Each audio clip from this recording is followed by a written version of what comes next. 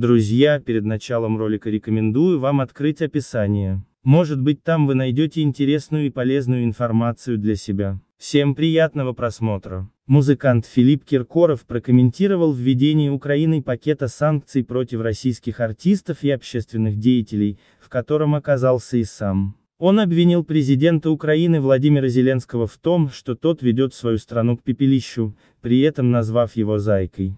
Мой старый товарищ и партнер по съемочной площадке слишком сильно вошел в роль, и тот сценарий, который ему присылают из-за океана ведет и его самого, и страну, которую ему доверили к пепелищу, мне очень жаль его, и близких мне людей с Украины. К сожалению, фанатичные люди, захватившие пропагандистские новостные повестки, не дают людям услышать своих родственников, друзей и другие альтернативные мнения и новости. Подписывайтесь на канал, ставьте лайки, оставляйте комментарии.